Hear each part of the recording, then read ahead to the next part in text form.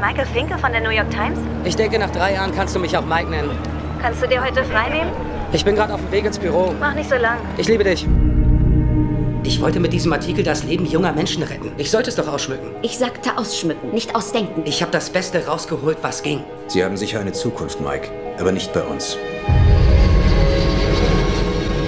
Weißt du, ehrlich gesagt, bin ich ganz froh, dass du nicht mehr für die Times arbeitest. Du hattest dich da in ein ziemliches Arschloch verwandelt. Hallo? Hallo, ich bin Reporter beim Oregonian. Ich hätte ein paar Fragen zu Ihrer Sicht auf den Christian Longo-Fall. Wer? Er hat seine ganze Familie umgebracht. Warum erzählen Sie mir das? Als sie ihn festgenommen haben, hat er behauptet, er sei Mike Finkel von der New York Times. Und hat er gesagt, warum er sich für mich ausgegeben hat? Ich hatte gehofft, dass Sie mir das sagen können. Er galt als intelligenter, unauffälliger Typ. Eines Abends kommt er nach Hause und tötet Frau und Kinder. Das ergibt keinen Sinn. Danke, dass Sie diesem Treffen zugestimmt haben, Mr. Longo. Nennen Sie mich Chris. Also, warum ich? Ich habe alles von Ihnen gelesen. Es ist, als ob ich Sie kennen würde. Ich will Ihnen die Wahrheit erzählen. Nur Ihnen. Obwohl, es spielt sowieso keine Rolle mehr. Die Wahrheit spielt immer eine Rolle. Zumindest für Sie.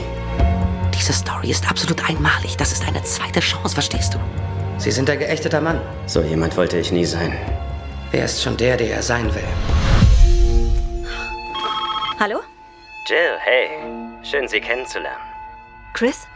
Mike hat sich wie ein richtiger Freund verhalten. Ich hoffe, dass wir beide auch Freunde sein können. Ich glaube, dass wir es mit einem extrem gefährlichen Mann zu tun haben. Sie hatten so viele Stories zur Auswahl und entscheiden sich ausgerechnet für seine? Eigentlich hat er sich für mich entschieden. Ich würde eher sagen, dass er sie benutzt hat. Wir glauben, dass sein Fall in einem größeren Zusammenhang steht. Es geht hier nicht allein um mich. Wen? Wen müssen Sie beschützen? Das kann ich nicht sagen. Du glaubst, dass er unschuldig ist, oder? Mein ganzer Ruf steht auf dem Spiel. Geben Sie mich nicht auf. Wollen Sie wirklich derjenige sein, der ihm zur Freiheit verhilft? Chris, haben Sie es getan oder nicht?